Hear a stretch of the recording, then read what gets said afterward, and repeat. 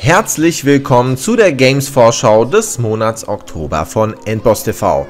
Wir wollen euch jetzt jeden Monat immer so ein bisschen zeigen, auf welche Titel ihr euch freuen könnt oder eben auf welche Titel auch nicht und was eben alles so auf den Markt geworfen wird. Dieses Mal sind wir leider eine knappe Woche zu spät dran. Wir versuchen euch demnächst natürlich immer vor dem jeweiligen Monat die Vorschau zu präsentieren. Aber das hat dieses Mal leider nicht geklappt. Trotzdem gibt es so viele interessante Titel im Oktober und auch einige, die eben noch kommen werden, dass wir euch diese Vorschau eben nicht vorenthalten wollten. Viel Spaß damit. Falls es euch gefällt, dann natürlich gerne einen Daumen nach oben und auch bitte in die Kommentare schreiben, was euch gefällt und was nicht, damit wir es in Zukunft noch verbessern können. Also viel Spaß mit dem Video.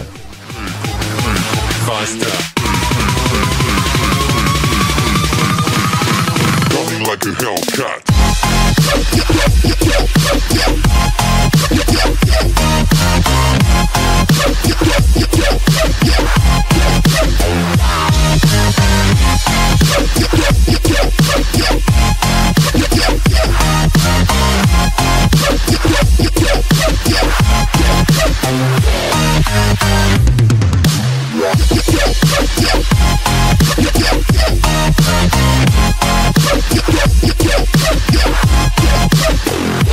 Hellcat.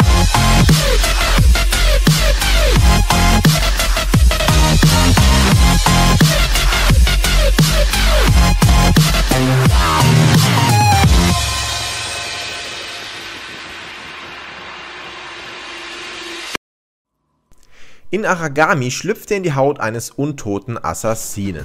Aragami ist ein waschechter Schleich-Action-Titel, bei dem ihr wirklich den größten Teil schleichen müsst und die Gegner von oben oder von hinten umbringen müsst. Es wird also nicht wild um sich geballert oder geschnetzelt. Zu eurer Hilfe habt ihr übernatürliche Fähigkeiten, die sich vor allem die Dunkelheit zu eigen macht, so wie etwa von Schatten zu Schatten zu teleportieren oder sogar einen Schattendrachen zu beschwören.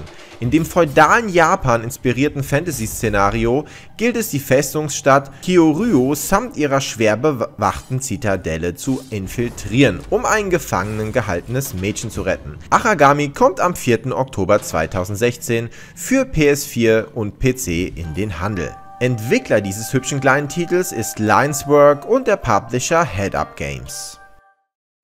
The world is ending. Though few believe it.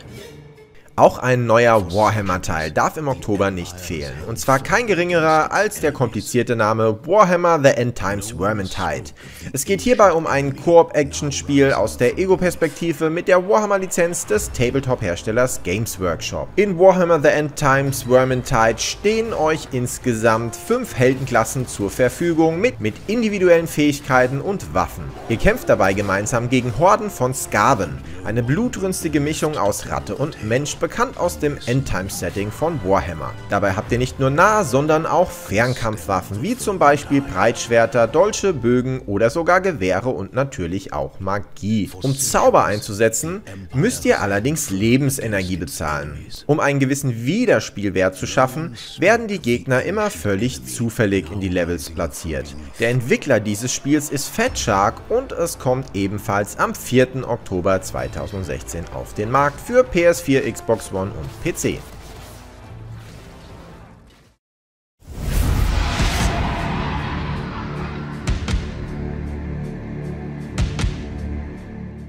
Beim Hack-and-Slay-Plattformer Slain Back from Hell löst ihr Rätsel, müsst zahlreiche versteckte Fallen überwinden und euch durch Horden von Monster schlagen, bevor ihr auf der Turmspitze gegen insgesamt sieben Endgegner antreten dürft. Dabei steuert ihr den Protagonisten Bathorin durch eine verfluchte Gothic-Fantasy-Welt im Pixel-Look. Der Entwickler dieses schönen kleinen Spiels ist Wolf Brew Games und der Publisher Dicoretti Distribution. Das Ganze erscheint am 5. Oktober und zwar für Xbox One, PlayStation 4, PlayStation Vita, Wii U und PC.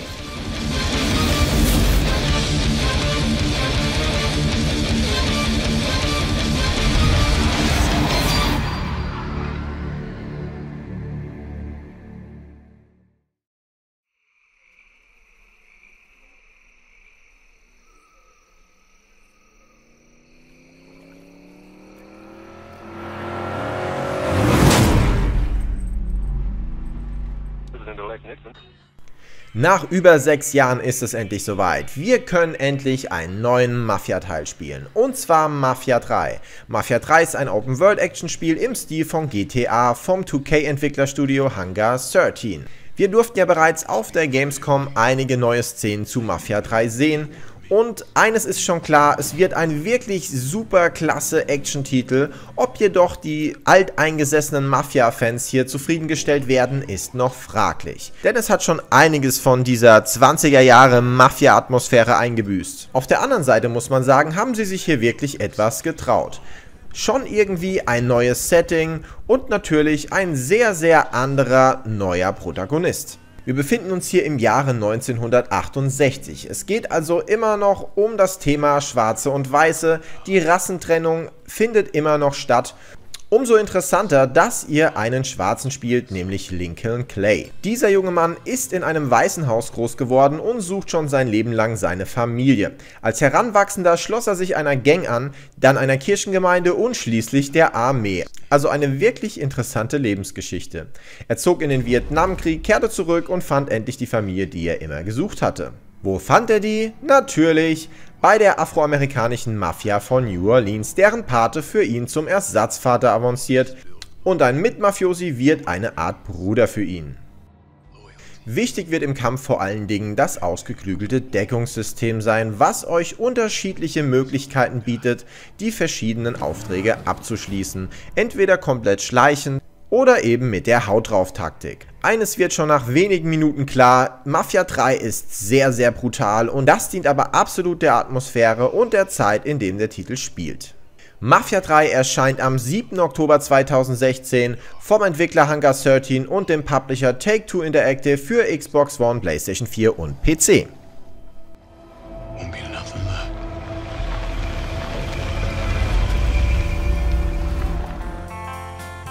Auch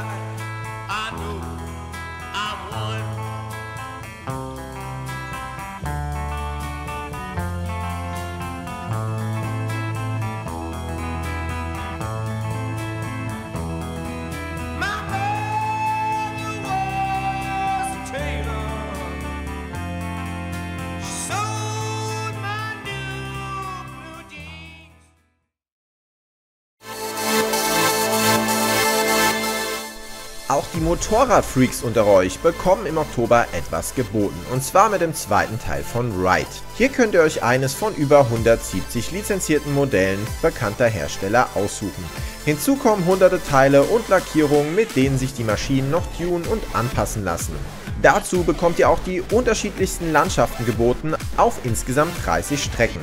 Es gibt 12 verschiedene Spielmodi für Online- und Offline-Partien.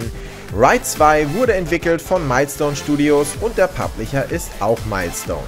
Der Release ist der 7. Oktober 2016 für PS4, Xbox One und PC.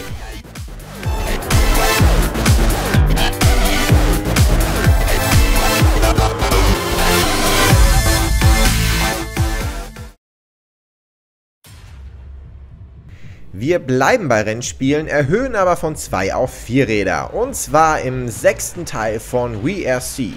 Eine Rallye-Simulation zur 2016er Saison der FIA World Rally Championship.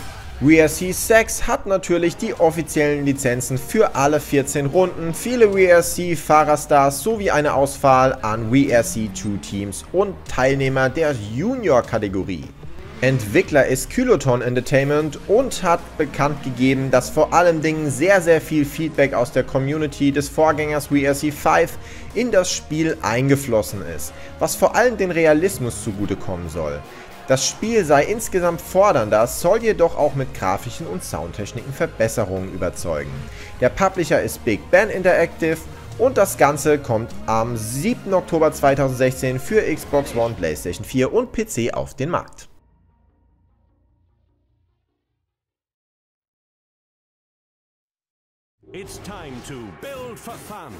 Auch zu Dragon Quest Builders hatten wir einen Termin auf der Gamescom. In unserer Playlist zur Gamescom 2016 findet ihr dazu das Interview mit den Entwicklern.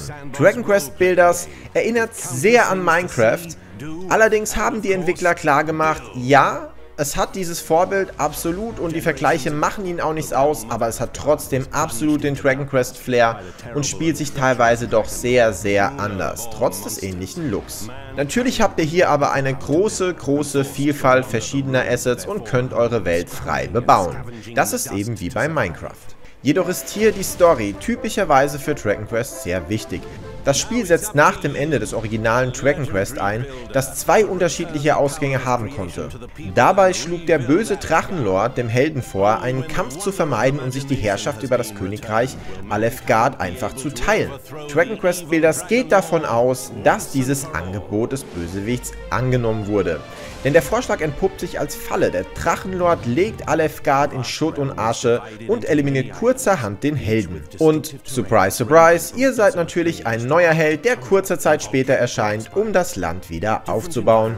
Dabei könnt ihr wählen, ob ihr entweder männlich oder weiblich sein wollt. Entwickler und Publisher ist gleichermaßen Square Enix und Dragon Quest Builders könnt ihr ab dem 11. Oktober 2016 für PlayStation 4 und die PlayStation Vita spielen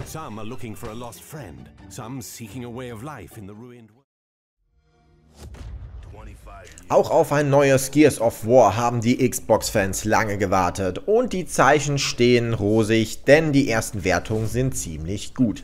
Der Deckungsshooter von The Coalition, dem Entwicklerstudio, das auch schon die Gears of War Ultimate Edition umgesetzt hat, erscheint am 11. Oktober 2016. Die Story in dem bekannten Science-Fiction-Szenario der Serie dreht sich diesmal um gleich zwei Protagonisten.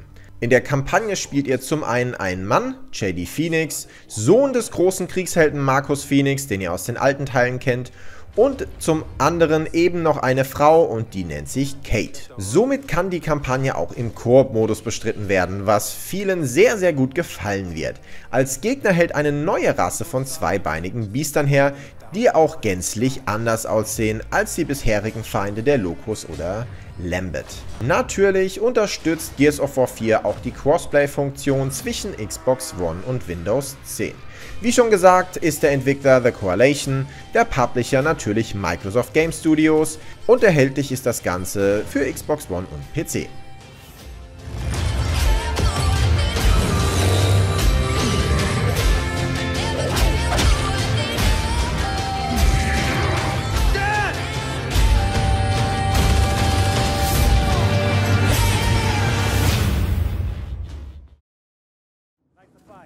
Miss Croft, Miss Croft. Ein Jahr mussten die Playstation-Jünger warten, bis sie auch endlich Hand an die gute Lara in Rise of the Tomb Raider legen durften. Doch jetzt ist es soweit. Am 11. Oktober veröffentlicht der Publisher Square Enix und der Entwickler Crystal Dynamics endlich das fantastische neue Abenteuer von Lara auch für die PS4. Damit ist es jetzt insgesamt verfügbar für PS4, Xbox One, Xbox 360 und PC. Die Story schließt direkt an das 2013 veröffentlichte Tomb Raider Reboot von Square Enix und Crystal Dynamics an und natürlich geht es auch hier wieder um das Erkunden der Gräber inklusive Rätsel plus natürlich die besonderen Action-Sequenzen und Quicktime-Events. Also ich weiß nicht, wie es euch geht, aber ich freue mich drauf. Und zu allem Überfluss kommt ja auch noch ein kleiner, aber feiner VR-Teil für alle PlayStation VR-Besitzer. Die können sich dann nämlich mal das Croft-Männer in der Ego-Perspektive ansehen und ja, durch die VR-Technik auch wirklich wunderbar umschauen. Darauf freue ich mich auch. Wollten wir das nicht schon immer?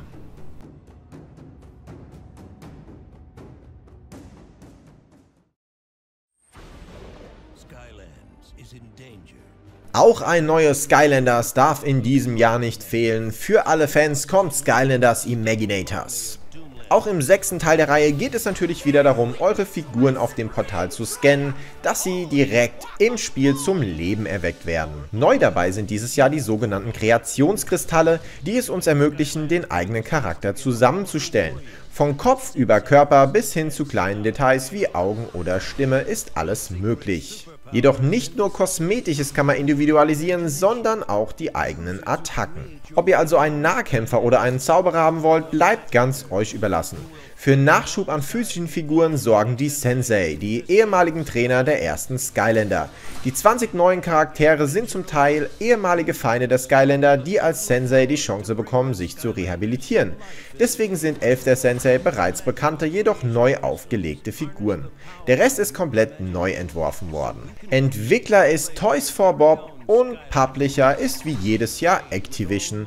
Das Ganze kommt am 14. Oktober 2016 in den Handel für Wii U, PlayStation 4, PlayStation 3, Xbox One und Xbox 360.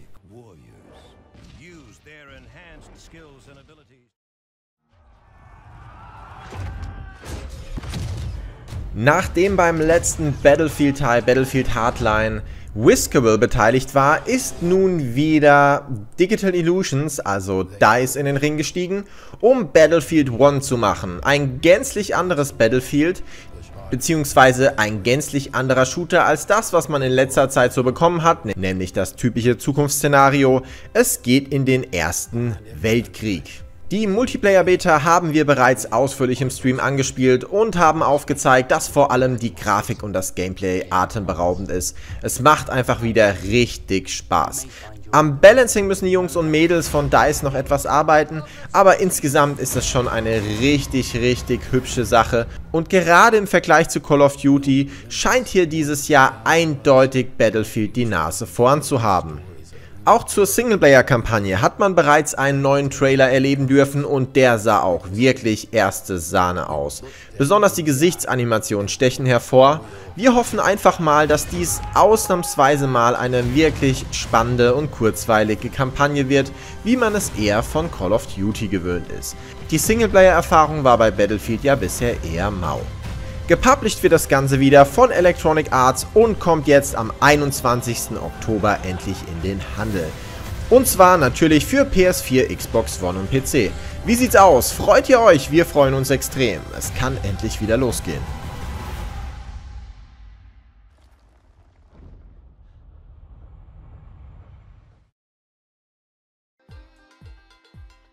Jährlich grüßt das Murmeltier. Auch in diesem Jahr kommt wieder ein neuer Landwirtschaftssimulator raus. Der Landwirtschaftssimulator 17 kommt wie jedes Jahr von Shine Software und dem Publisher Astragon. Auf den ersten Blick hat sich am Spielprinzip nicht viel bis eigentlich gar nichts geändert. Noch immer bewirtschaftet noch immer bewirtschaftet man Felder, baut die eigene Farm aus und spielt mit anderen online zusammen als Landwirt. Ein kleiner Unterschied, dieses Mal können wir auch eine weibliche Spielfigur steuern. Jedoch gibt es einen sehr großen Unterschied zu den letzten Titeln. Es werden nämlich zum ersten Mal Mods beim Landwirtschaftssimulator unterstützt. Und zwar nicht nur auf dem PC, sondern auch auf den Konsolen. Insgesamt bekommt ihr wieder 200 originalgetreue Fahrzeuge von 60 bekannten Marken. Das Ganze kommt am 25. Oktober für PS4, Xbox One und PC in den Handel.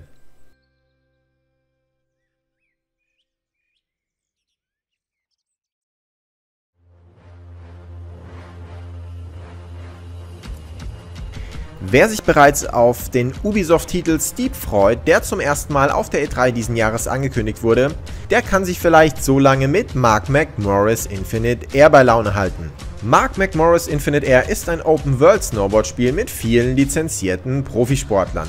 Allerdings wird hier der Fokus eher auf Realismus und ein authentisches Fahrgefühl gelegt. Auch das Erstellen und Austauschen eigener Kurse ist hier möglich.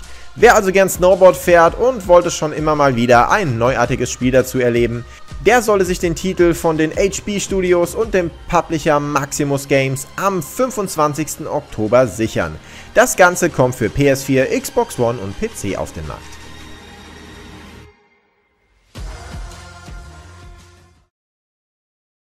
Natürlich kommt auch dieses Jahr wieder ein neuer Just Dance Teil, nämlich Just Dance 2017 auf den Markt. Das ist natürlich das bekannte Tanzspiel von Ubisoft.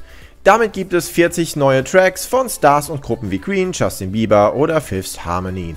Neu ist auch der Spielmodus Just Dance Machine, bei dem die Spieler verschiedene Tänze wie Flamenco oder Ballett meistern müssen. Das Ganze wird wie immer entwickelt und gepublished von Ubisoft und kommt am 27. Oktober für Xbox 360, PlayStation 4, PlayStation 3, Xbox One, Wii U, Wii und PC auf den Markt. Für alle Tänzer unter euch viel Spaß damit! Für alle Handballfans unter euch kommt dieses Jahr Handball 17 auf den Markt. Eine Sportsimulation von Echo Software, in der 82 lizenzierte Mannschaften aus deutschen, französischen und spanischen Ligen der Handballsaison 2016 und 2017 zur Auswahl stehen. Der Titel konzentriert sich vor allem auf die authentische Wiedergabe von Handballmatches, während neben den einzelnen Partien aber auch ein Karriere- sowie ein Saisonmodus absolviert werden kann. Natürlich gibt es auch die Möglichkeit für Multiplayer-Matches. Gepublished wird das Ganze von Big Bang Interactive, kommt am 28. Oktober für PS4, PlayStation 3, Xbox One und PC auf den Markt.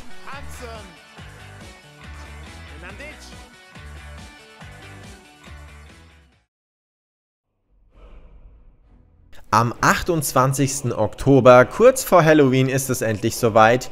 Die von mir begehrteste Remastered Edition kommt endlich auf den Markt. Und zwar keine geringere als The Elder Scrolls V Skyrim, die Special Edition. Darüber gab es ja viel Diskussion in den vergangenen Wochen und Monaten, da ja erst angekündigt wurde, dass es Mods geben wird, das wurde dann von Sony dementiert. Bethesda war daraufhin ziemlich angesäuert, hat das auch öffentlich klar gemacht. Dann wiederum kam von Sony die Freigabe, okay, wir lassen doch Mods zu. Zumindest bestimmte, damit ist noch nicht jeder zufrieden gestimmt, aber hey, es kommt auf jeden Fall raus und es wird Mods geben, es wird grafisch schön aussehen, ich freue mich drauf. Also wenn ihr Bock drauf habt auf Skyrim von den Bethesda Game Studios, dann holt es euch am 28. Oktober entweder für PS4, Xbox One oder PC.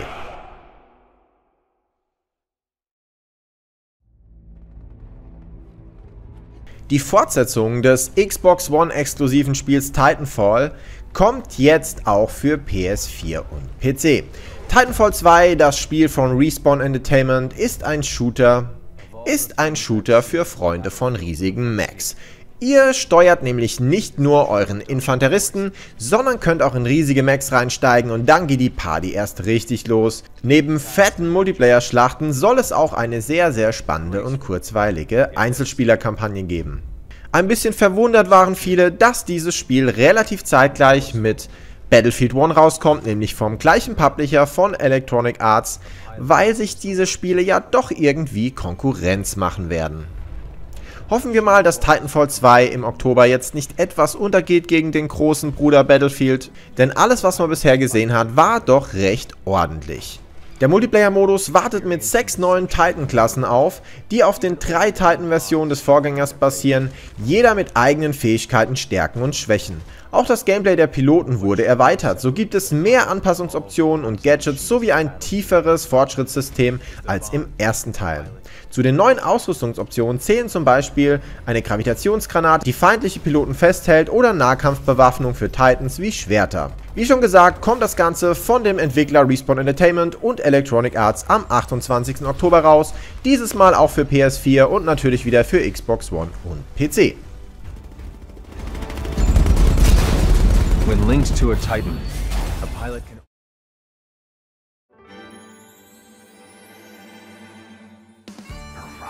Auch zu unserem nächsten Titel World of Final Fantasy hatten wir ein Gespräch mit den Entwicklern auf der Gamescom. Auch dieses findet ihr unter unserer Playlist zur Gamescom 2016. Alle Final Fantasy Fans werden schon auf den Titel geblickt haben. Manche freuen sich sehr drauf, manche sagen, hm, für mich ist es kein richtiger Final Fantasy Teil. Bei World of Final Fantasy geht es ja um ein Mashup, bei dem alle möglichen Helden und auch Kreaturen der vergangenen Final Fantasies auftauchen. Die Kerngeschichte jedoch handelt von Geschwistern, die in das Final Fantasy Universum geworfen werden. Der ganze Stil des Spiels ist absichtlich niedlich gehalten und einige Charaktere werden im sogenannten Chibi-Design dargestellt. Das ist doch etwas verwunderlich bzw. anders wie in den Vorgängern von Final Fantasy ob das Spiel einen typischen Final Fantasy Fan begeistern kann, ist noch fraglich. Jedoch scheint es mit ordentlich Content zu kommen. Viele, viele Stunden Singleplayer-Kampagne und natürlich, und natürlich wie für Final Fantasy üblich, auch wieder ganz, ganz viel, was man darüber hinaus machen kann. Falls ihr Bock habt auf World of Final Fantasy, es kommt natürlich wieder von Square Enix und zwar am 28. Oktober für PlayStation 4 und PlayStation Vita.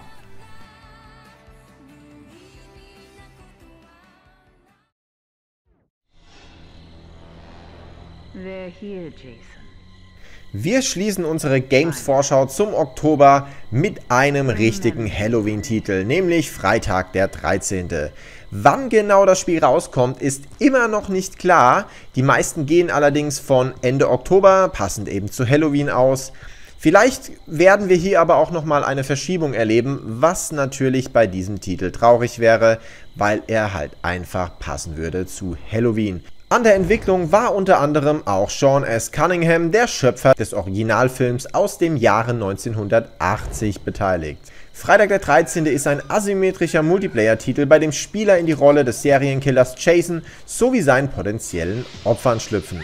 Finanziert wurde das Ganze über eine Kickstarter-Kampagne und es sieht schon sehr nach einem Dead by Daylight-Klon aus, obwohl Freitag der 13. ja eine sehr, sehr bekannte Marke ist. Trotzdem ist Dead by Daylight so in die Höhe geschossen in den letzten Monaten, dass sich Freitag der 13. damit messen werden muss. Wir sind gespannt, ob es dann doch noch diesen Monat rauskommt und ob es besser wird als Dead by Daylight oder eher nicht. Das Ganze wurde entwickelt von Gun Media und dem Publisher Ilphonic. Es kommt natürlich für die gängigen Plattformen Xbox One, PlayStation 4 und PC auf den Markt.